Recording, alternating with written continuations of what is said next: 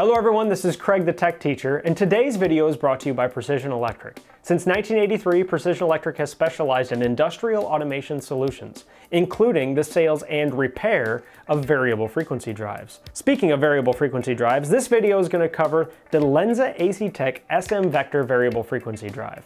We've used this drive for over a decade, and you're about to find out why.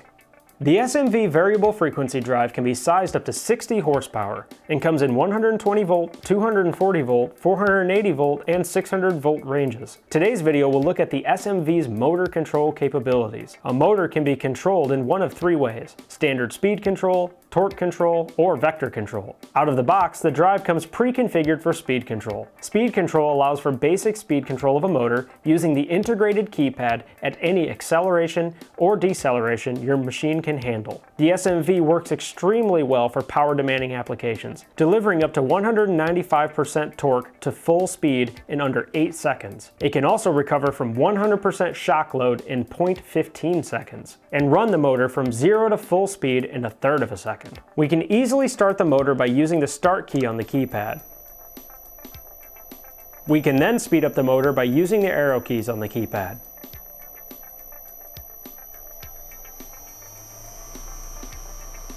At any time during operation, we can also reverse the motor.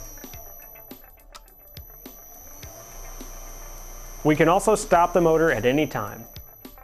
You'll also get flexible motor control with the SMV drive with easily configurable control modes such as PID control, vector torque control, vector speed control, and sequencer control. The SMV also supports nearly every popular communications protocol including Ethernet, Expandable I.O., Modbus, DeviceNet, Profibus, and CAN Open. The SMV variable frequency drive comes in two separate types. The NEMA 1 enclosure is water drip and dust resistant, and there's also a NEMA 4X enclosure, which is dust tight and wash down duty.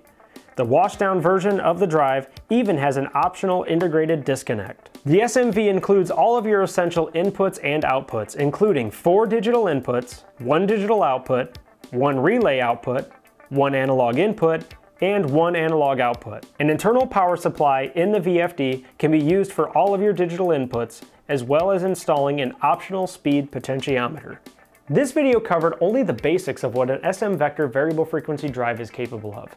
If you want to get instant pricing and availability, make sure you go to the Precision Electric website in the link below. Also, don't forget to take advantage of the free live chat and telephone support. If you like this video, make sure you like, share, and subscribe.